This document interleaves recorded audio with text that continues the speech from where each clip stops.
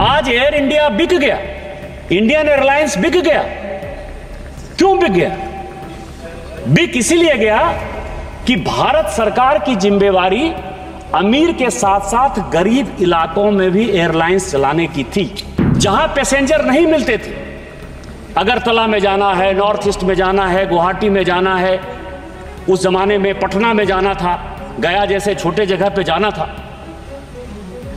तो air India Indian airlines जाती थी, कम पैसे पर जाती थी। उसका fare government of India regulate करती थी। यही कारण है कि वो पैसा नहीं कमाने के कारण धीरे धीरे धीरे धीरे वो प्रॉब्लम में चली गई और समस्या तब आ गई जब इंडियन एयरलाइंस और एयर इंडिया का आपने मर्जर कर दिया। जो इंडियन एयरलाइंस और एयर इंडिया फ़ायदे में थी, आपके जीओएम ने, माननीय चिदंबरम साहब ने ऐसा सिचुएशन पैदा किया कि प्रत्येक साल तीस हज़ार करोड़, चालीस हज़ार करोड़, पचास हज़ार करोड़ नुकसान में जाने के कारण आज भारत सरकार को एयर इंडिया बेचना पड़ा। कि मैं जब 2009 में यहाँ सांसद बनकर आया तो मैक्सिमम मेंबर ऑफ़ पार्लियामेंट हमारे इलाके में रेल जाना चाहिए, रेल का स्टॉपेज होना चाहिए, पैसेंजर ट्रेन होना चाहिए। यही चलता रहा 2009 से लेकर 14 तक। मेरे यहाँ गए थे सिंधिया साहब, एक छोटे से जगह देवघर में, संथालपुरा में, जहाँ की ट्रेन नहीं रुकती थी। आज वहाँ हवाई जहाज़ रुकता है। हवाई जहाज़ चलता है। बेंगलोर के लिए वहाँ से प्लेन है, दिल्ली के लिए वहाँ से प्लेन है, कलकत्ता के लिए प्लेन है, रांची के लिए प्लेन है, पटना के लिए प्लेन है। सभी जगह के लिए प्लेन है, केवल डेढ़ साल, दो साल में, दो साल ही हुआ है अभी। आज ये चर्चा पूरे पार्लियामेंट में मैं देख रहा हूँ कि हमारे यहाँ एयरपोर्ट बने, हमारे यहाँ हवाई जहाज़ उड़े। ये सबसे बड़ा चेंज है माननीय प्रधानमंत्री जी का। माननीय सदस्य श्री निशिकांत दुबे जी।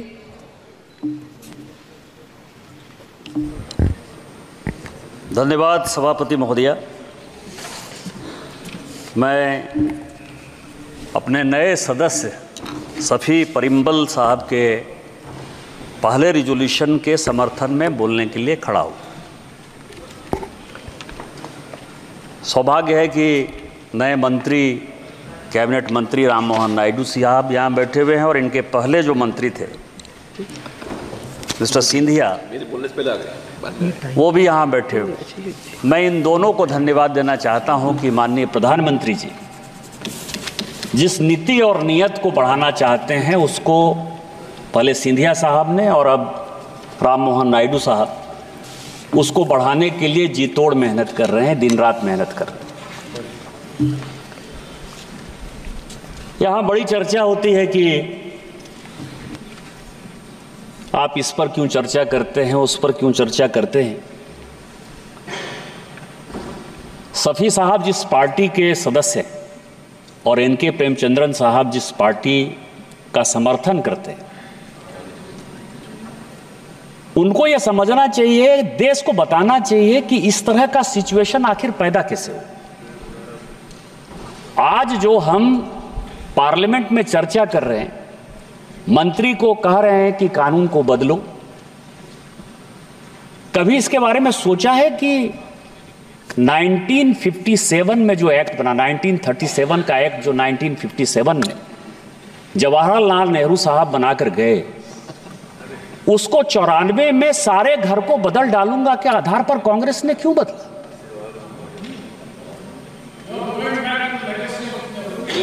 यही तो है ना यही तो सबसे जो जो जो बात आप माननीय मंत्री जी को प्रेमचंद्रन साहब सजेशन दे रहे हैं जिस एक्ट को बदलने की बात कर रहे हैं जिस एक्ट को मज़बूत करने की बात कर रहे हैं उस एक्ट को खत्म किसने किया? आज एयर इंडिया बिक गया इंडियन एयरलाइंस बिक गया। क्यों बिक गया? बिक इसीलिए गया कि भारत सरकार की जिम्मेवारी अमीर के साथ साथ गरीब इलाकों में भी एयरलाइंस चलाने की थी, जहाँ पैसेंजर नहीं मिलते थे। अगरतला में जाना है, नॉर्थ ईस्ट में जाना है, गुवाहाटी में जाना है, उस जमाने में पटना में जाना था, गया जैसे छोटे जगह पे जाना था। तो एयर इंडिया इंडियन एयरलाइंस जाती थी, कम पैसे पर जाती थी, उसका fare government of India regulate करती थी। यही कारण है कि वो पैसा नहीं कमाने के कारण धीरे धीरे धीरे धीरे वो प्रॉब्लम में चली गई और समस्या तब आ गई जब इंडियन एयरलाइंस और एयर इंडिया का आपने मर्जर कर दिया। आज टेलीफोन में यदि टैरिफ कंट्रोल है, यदि 40 पैसे में हम फ़ोन पर बात कर पा रहे हैं तो इसीलिए बात कर रहे हैं कि सब कुछ के बावजूद भी बीएसएनएल और एमटीएनएल को भारत सरकार ने नहीं बेचा है। उसने एक रास्ता दिया है। कि चाहे एयरटेल महँगा हो जाए वोडाफोन महँगा हो जाए रिलायंस महँगा हो जाए, कोई भी महँगा हो जाए, लेकिन भारत सरकार 140 करोड़ आदमी के साथ खड़ी है और वो एक सस्ते दर पर मोबाइल फ़ोन देगी, लोगों को देगी, टैरिफ देगी। लेकिन जो इंडियन एयरलाइंस और एयर इंडिया फ़ायदे में थी, आपके जीओएम ने, माननीय चिदम्बरम साहब ने ऐसा सिचुएशन पैदा किया कि प्रत्येक साल तीस हज़ार करोड़, चालीस हज़ार करोड़, पचास हज़ार करोड़ नुकसान में जाने के कारण आज भारत सरकार को एयर इंडिया बेचना पड़ा और जब बेच देंगे तो भारत सरकार के पास इस एक्ट के खत्म होने के बाद कौन सा मैकेनिज्म है जिसके आधार पर कि वो रेगुलेट कर सकते हैं? आप 94 से आगे बढ़िए। 94 में आ गया प्राइवेटाइजेशन हो गया। ईस्ट वेस्ट एयरलाइंस आ गई जेट एयरवेज आ गई इवन किंग फिशर आ गई, सारे एयरलाइंस आ गए। अटल बिहारी वाजपेयी की सरकार आ गई। जिस अटल बिहारी वाजपेयी की सरकार ने एयर इंडिया और इंडियन एयरलाइंस को प्रॉफिट में डाला, इसके बावजूद भी उस एक्ट में जो 1973 में इंदिरा जी ने, आप लोग चूँकि लोगों को भूल जाते हैं, इसीलिए मैं आपको कह रहा हूँ, हम नेहरू जी का आदर करते हैं, इंदिरा जी का आदर करते हैं उन्होंने जो एक्ट लाया था 135 बी, एयरक्राफ्ट एक्ट 1957 में, जो फिर भी डीजीसीए को अधिकार देता था। जब हमारी सरकार गई, अटल बिहारी वाजपेयी जी की सरकार गई, सभापति महोदया तो सितंबर 2004 में उस 135 बी को भी खत्म कर दिया। क्या कारण था? आप यदि कहेंगे कि डीरेगुलेट हमने इसीलिए किया कि प्राइवेट एयरलाइंस को एडजस्ट करना था। तो हमारे समय में भी तो एडजस्ट था, छह साल हमारी भी तो सरकार थी ना। हमको तो यह कभी नहीं लगा। लेकिन आपने क्या किया? आपने 135 और जिस दिन आपने 135 बी को खत्म कर दिया, उसके बाद भारत सरकार के हाथ में कुछ नहीं बचा। और आज जब हम ये चर्चा करते हैं तो ये पूरे देश को समझने का सवाल है कि कांग्रेस की नीतियों के कारण, उस लेगेसी प्रॉब्लम के कारण आम जनता, आज 140 करोड़ जनता परेशान है। मैं इसलिए बात कर रहा हूँ कि मैं जब 2009 में यहाँ सांसद बनकर आया तो मैक्सिमम मेंबर ऑफ़ पार्लियामेंट हमारे इलाके में रेल जाना चाहिए, रेल का स्टॉपेज होना चाहिए, पैसेंजर ट्रेन होना चाहिए। यही चलता रहा 2009 से लेकर 14 तक। लेकिन 2014 में जब माननीय प्रधानमंत्री जी प्रधानमंत्री बने और उड़े देश का आम नागरिक जब उन्होंने कहा कि चप्पल वाले को भी जो है हम प्लेन में बिठाएँगे, हवाई चप्पल वाले को। और जब सिंधिया साहब ने जिसको कैरी किया कि 70 एयरपोर्ट से आज एक एयरपोर्ट हो गया, जब जगह जगह क्योंकि मैं भी मैं भी उस योजना का पार्ट हूँ, मेरे यहाँ गए थे सिंधिया साहब एक छोटे से जगह देवघर में, संथालपुरा में, जहाँ की ट्रेन नहीं रुकती थी, आज वहाँ हवाई जहाज़ रुकता है। हवाई जहाज़ चलता है। बेंगलोर के लिए वहाँ से प्लेन है, दिल्ली के लिए वहाँ से प्लेन है, कलकत्ता के लिए प्लेन है, रांची के लिए प्लेन है, पटना के लिए प्लेन है। सभी जगह के लिए प्लेन है, केवल डेढ़ साल, दो साल में, दो साल ही हुआ है अभी। आज ये चर्चा पूरे पार्लियामेंट में मैं देख रहा हूँ कि हमारे यहाँ एयरपोर्ट बने, हमारे यहाँ हवाई जहाज़ उड़े। ये सबसे बड़ा चेंज है माननीय प्रधानमंत्री जी का। रेल पर चर्चा करते करते आज हम हवाई जहाज़ पर चर्चा कर रहे हैं। यही देश का विकास। है मैं तीन चीज़ें हैं। सभापति महोदया, मैं आपके माध्यम से मंत्री महोदय जी को कहना चाहता कि आपदा में अक्सर एयरलाइंस कंपनियाँ ढूँढने की कोशिश करती हैं। जिसके ऊपर की, जिस रिपोर्ट की बात प्रेमचंद्रन साहब कह रहे हैं, वो साधारण हम आप जो बातचीत कर रहे हैं, उसके आधार पर नहीं हुआ। कोरोना काल में जो है, एयरफेयर बढ़ने लगे और उसमें आपदा में अफसर एयरलाइंस कंपनियों ने ढूंढ लिया, चूँकि भारत सरकार के पास कोई मैकेनिज्म नहीं था। तो उस पर यह कमिटी ने, जिसमें दुष्यंत सिंह जी 20 साल परमानेंट मेंबर रहे उसके, अब शायद कमिटी चेंज होंगे। मतलब जो इनकी बातचीत से लगता है। तो मैं आपको बताऊँ कि उस कमेटी के सामने सभी एयरलाइंस कंपनियाँ, भारत सरकार, ये सारे लोग आए। जो प्रेमचंद्रन साहब और परिम्बल साहब का जो रिजोल्यूशन है या रिजोल्यूशन के सपोर्ट में जो प्रेमचंद्रन साहब ने कहा, वो उसका एक एस्पेक्ट जो विदेश में, ये इसमें तीन तरह के एस्पेक्ट हैं। और तीन तरह का मैं आपके माध्यम से मंत्री महोदय को कहना चाहूँगा कि इसको तीन तरह से हैंडल करने की आवश्यकता है। पहला हैंडल आपको यह करना है कि इंटरनेशनल जो यात्री तो इंटरनेशनल एयरलाइंस जो हमारे यहाँ के डोमेस्टिक लोग जाते हैं, वो एयरलाइंस जो आपने बायलेटरल में दूसरे भारत सरकार के एयरलाइंस को यहाँ इजाज़त दी है आने की, उन दोनों के बीच में आपका कौन सा कानून लागू होता है?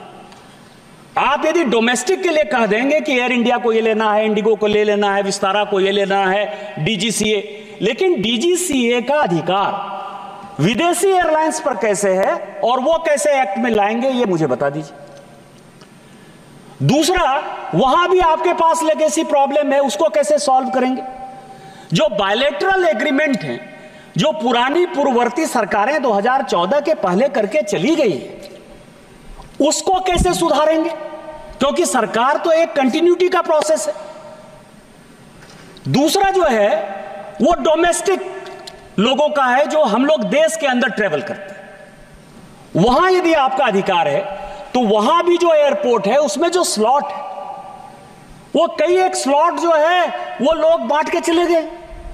2014 में। अब कुछ एयरलाइंस कंपनियाँ, मान लीजिए, उसके बाद डूब गई हैं, उसका क्या करेंगे? और तीसरा यह है कि जैसे मैंने कहा कि रेल, पानी और ट्रांसपोर्ट के अलावा अब जो एक कार्गो ट्रांसपोर्टेशन का जो एक बड़ा मोड हो गया है, या जल्दी मान लीजिए कि अपनी इकोनॉमी को बढ़ना है, किसी को फूल जाना है, किसी को सब्ज़ी पहुंचाना है, चीज़ें पहुंचाना है, कम सस्ते दर पर पहुंचाना है, उसका क्या करेंगे? इसको तीन तरह से यदि तीन विभाग में विभक्त करके यदि आप बात करेंगे तो मुझे लगता है कि हम शायद सॉल्यूशन के ज़्यादा नज़दीक जा पाएँगे। कि इंटरनेशनल ट्रेवलर के साथ क्या करेंगे? डोमेस्टिक ट्रेवलर के साथ क्या करेंगे और फिर कार्गो के साथ क्या करेंगे? क्योंकि इससे इस देश की इकोनॉमी को जो है वो बढ़ना है। मैं आपको बताऊँ कि डीजीसीए को आपने 135 में जिसके बारे में बार बार बात हो रही है, जिसके आधार पर यह है कि वो प्राइस मैकेनिज्म को देखते हैं कि वेबसाइट पे डाला, उससे वो बाहर तो नहीं जा रहा है। लेकिन जो पूरी दुनिया में जो डायनामिक फेयर का जो एक सिद्धांत, चाहे वो यूके चला रहा हो, चाहे यूएस चला रहा हो, उसमें जो आपका लेकुना है, और फिर 2008 के मैं एक्ट की बात करूँगा, जो एरा बना दिया इन्होंने। इन्होंने बनाया। हमने नहीं बनाया, सब कुछ बना के यही चले गए। मतलब ऐसा गवर्नमेंट का हाथ पाँव बाँध दिया है। अब आप समझिए कि जो एरा है, वो मेजर एयरपोर्ट की बात कर रहा मेजर एयरपोर्ट में, जैसे एटीएफ की बात दुष्यंत सिंह जी ने कही कि जो मेजर कंपोनेंट है एयरफेयर बढ़ने का या उसके चार्ज का एटीएफ चूँकि जीएसटी का पार्ट नहीं है तो अलग अलग राज्य सरकारें जो है अलग अलग एटीएफ लेती हैं, और उसमें सबसे बड़ी समस्या है कि किसी राज्य में कहीं एटीएफ का दाम कहीं है बंबई में कुछ है, कर्नाटक में कुछ है, हमारे यहाँ कुछ है। एटीएफ के बाद मेजर एयरपोर्ट के लिए एरा बनाता है कि आप लैंडिंग चार्ज क्या लेंगे। आप पार्किंग चार्ज क्या लेंगे और लैंडिंग और पार्किंग चार्ज के अलावा जो एरोनॉटिकल चार्ज है, एक जगह से दूसरे जगह जाने का जो फेयर है, वो एरा तय कर देती है। और मान लीजिए कि मेजर एयरपोर्ट में तिरुवनंतपुरम को भी मैं मेजर एयरपोर्ट मान लेता हूँ, या बेंगलोर को बड़े बड़े शहरों के, वो यदि दिल्ली तक आ गया, बंबई तक आ गया तो वो टैरिफ तो एरा तय कर दी। लेकिन जो मेरे जैसे छोटे जगह पर देवघर एयरपोर्ट में आएगा, या झरसूगुड़ा, या जुएल उराव साहब के क्षेत्र में आएगा, या ग्वालियर में माननीय मंत्री जी के क्षेत्र में जाएगा, या विजयवाड़ा जाएगा, आप ये बताइए कि इसका टैरिफ कौन तय करे? मतलब वो और दोनों एरा एरा रेगुलेटरी बॉडी है। मैं यही कह रहा हूँ। मैं आप ही की बात पर आ रहा था कि एक मैकेनिज्म रेगुलेटरी बॉडी तय करता है जिसमें सरकार का कोई लेना देना नहीं, कोई हस्तक्षेप नहीं। एक मैकेनिज्म यह है जो कि एयरपोर्ट अथॉरिटी ऑफ़ इंडिया तय करती है मिनिस्ट्री ऑफ़ सिविल एविएशन तय करती है। अब यदि एक दूसरे के रास्ते में आप आएँगे तो कौन तय करेगा? Who will be the authority यह एक बड़ा सवाल है, और मैं आपको बताऊँ कि केवल 135 को मज़बूत करने का नहीं है डीजीसीए को मज़बूत करने का नहीं है। इसमें एरा कैसे मज़बूत होगा? एरा के एक्ट में क्या संशोधन करना पड़ेगा? यह मंत्री जी जब तक नहीं सोचेंगे, तब तक इस समस्या का कोई समाधान नहीं। हम लोग ऐसा ही बातचीत करते रहेंगे, लोगों को दिखाते रहेंगे कि हम तो 140 करोड़ आदमी के लिए हैं कि कैसे टैरिफ कम हो जाएगा। दूसरा जो एयरलाइंस कंपनी ने इस कमेटी में आकर कहा, वो सभापति महोदया और भी इंपॉर्टेंट है। सोचने लायक चीज़ है। वो ये कह रहा है कि हम कॉम्पिटिटिव प्राइस पर जो है प्राइस मैकेनिज्म तय करते हैं। अब हमारे यहाँ केवल एक ही एयरलाइंस जाती है इंडिगो उसका कौन सा कंपटीशन है? सफी जी जो कह रहे थे कि कार्टिलाइजेशन है, मैं उससे एकदम सहमत हूँ। मतलब मैं आपके बात को डिसएग्री नहीं कर रहा हूँ। लेकिन जहाँ केवल एक ही एयरलाइंस जा रही है, वहाँ क्या प्राइस मैकेनिज्म है? यदि पटना में जाऊँ तो मैं पाँच हज़ार के फेयर पर जाता हूँ और मैं अपने यहाँ यदि जाऊँ तो हमारे लोग जो है पंद्रह हज़ार, बीस हज़ार से कम पे कभी जाते ही नहीं दिल्ली से। गरीब जगह पर जब वहाँ जाते हैं, तीसरा जो नीति में बड़ी अच्छी नीति है, उड़ा, उड़े देश का आम नागरिक, और इसके कारण बहुत फ़ायदा हुआ। छोटे छोटे जगहों पर, एयरपोर्ट पर, जैसे आयुष्मान भारत के कारण छोटे छोटे जगहों पर जो है हेल्थ के लिए हॉस्पिटल्स खुले, वैसे ही एयरलाइंस कंपनी को फ़ायदा है, उड़ान स्कीम होता है। लेकिन मैं आपको एक उदाहरण दूँ, दरभंगा एयरपोर्ट का। कोरोना काल में दरभंगा एयरपोर्ट का बड़ा नाम हुआ कि सबसे ज़्यादा यदि कहीं से पैसेंजर आ रहे हैं, जा रहे हैं तो वो दरभंगा एयरपोर्ट से जा रहे हैं। क्योंकि उड़ान स्कीम में वहाँ एयरलाइंस कंपनी ने जगह ले लिया, स्लॉट ले लिया। जिस दिन वो उड़ान स्कीम का पैसा आप खत्म करते हैं, जिस दिन योजना खत्म होती है, उसी दिन एयरलाइंस कंपनी भाग जाती तो जो ये तय कर रहे हैं मैकेनिज्म कि हम तो प्रोत्साहित कर रहे हैं जिससे कि वो सेक्टर मज़बूत हो तो जो सेक्टर के लिए बीडिंग हो रहा है, वो किससे पूछ करते हो रहा है? उसमें कौन से स्टेक होल्डर शामिल है?